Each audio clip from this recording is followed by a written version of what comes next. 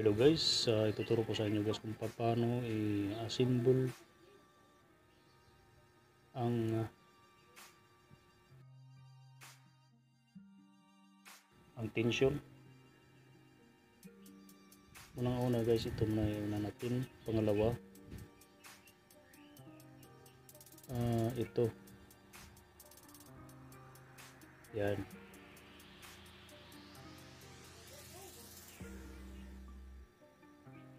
Yan. Pangatlo, itong kuwan.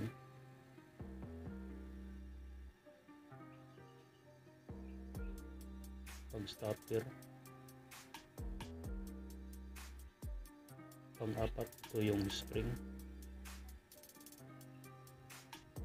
Alagyan natin ng lock.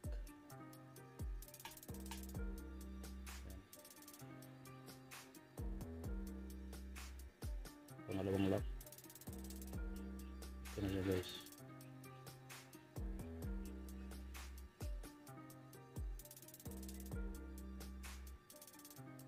At uh, ito ilagay na sa machine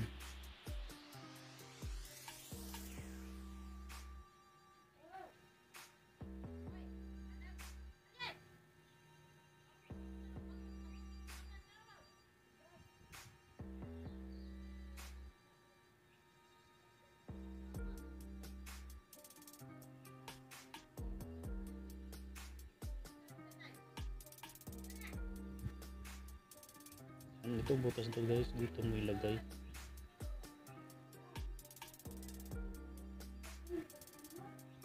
Yan.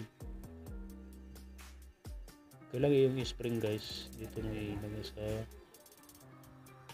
gilid.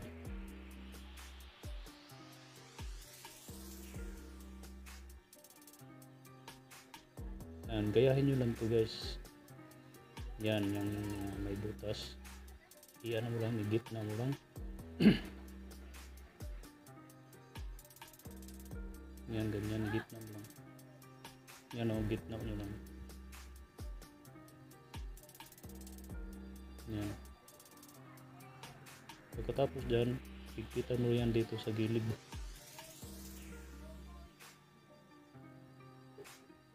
yan gilid higpitan mo yan para hindi siya matanggal